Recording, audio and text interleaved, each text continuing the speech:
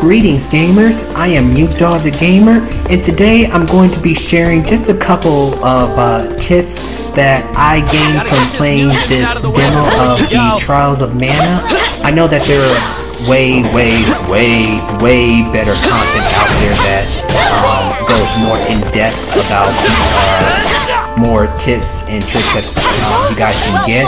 So this video isn't for anybody to kind of critique me on, it's just certain things that I found and different elements that I found in the game to kind of help me along in the journey. So I just wanted to share that with you guys.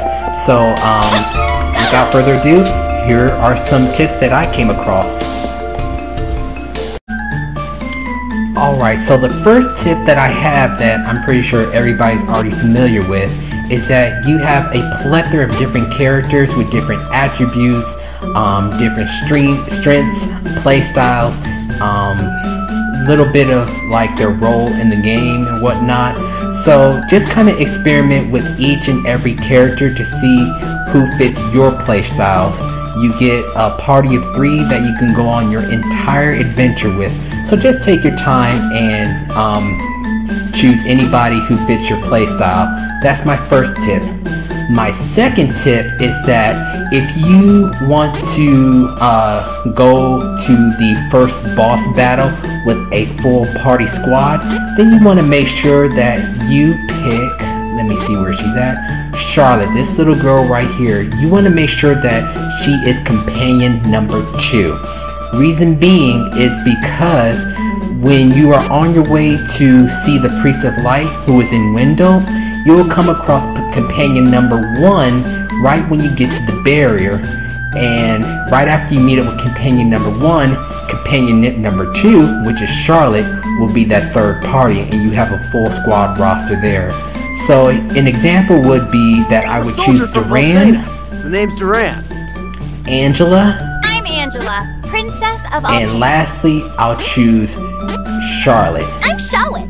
Resident Beauty. So if you pick them in that order, just like how I explained to you before, you will go into the first dungeon and also the first boss battle with a full three-man squad. So that's the uh, first two tips that I wanted to share with you guys. My next tip is to make sure that you go okay. ahead and collect these treasure chests, break vases, and I'm pretty sure you've already seen them um, during your adventures uh, on this demo, is that there are these yellow glowing orbs. Um, kind of make sure you go a little bit out of your way to make sure you collect them.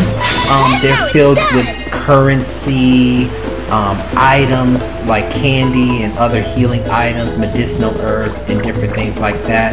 Breaking these vases, especially these um, green ones that restores health.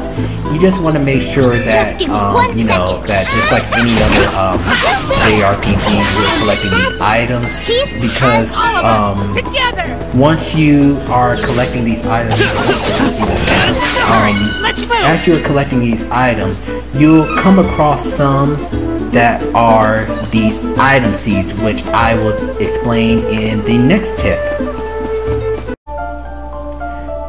Now for another tip that I have in mind is that in these ends, you see these magic pots, you want to go ahead and use these item seeds in these magic pots to um, help it to kind of grow and level up. So you want to go ahead and just plant these right away. As you can see, my, my pot on the far right corner is level 2.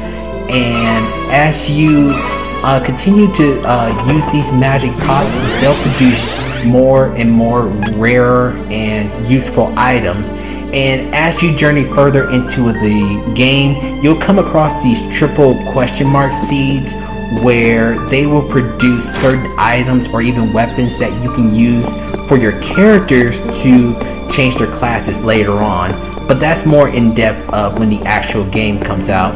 In order for you to kind of progress with leveling up that magic pot for the end, you want to get about 15 item seeds for it to um, to level up to the next level. And the way that you find the item seeds is those yellow glowing orbs. And the good thing about those orbs as well too is that even if you do pick them up, like you collect them in the area, you go away for a little bit, and you go back into that same area where you found those yellow orbs, they'll respond. just like the enemies how they respond, Um, once you leave leave that area and come back, those yellow orbs will respond will respawn as well too. So it's not necessarily a lost cause if you don't get them right then and there.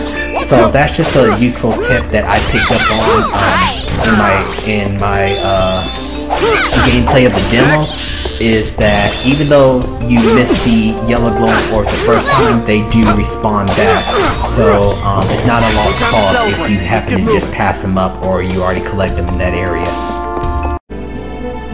The next tip that I have to offer is that anytime, or actually rather every time you enter into a new town, make sure you check out the weaponry and armory shop, mainly because they Welcome. have Where's the um, browse? better weapons and armor that you can use. As you can see here, I already um, equipped them on to Duran and Angela already. Come again. And the armory, it boosts your defense, whereas the weaponry, it boosts your attack and even magic spells.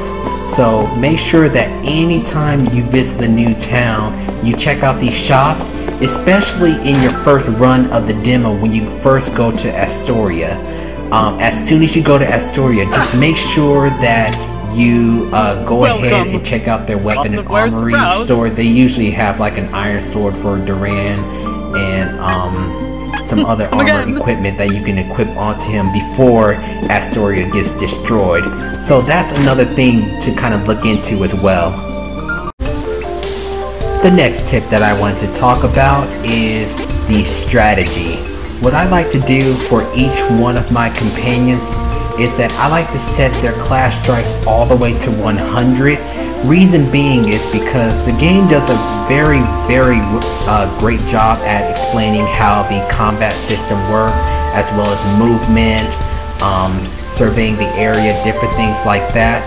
But one thing that I kind of had to find out on my own is that when you finish off an enemy with a clash strike, you actually gain experience points for when you finish them off with a clash strike, which is a lot of help in grinding um, throughout this game. So for me personally, I just like to have the clash strikes all the way up, and the uh, the AI um, companions they do a good job at landing them.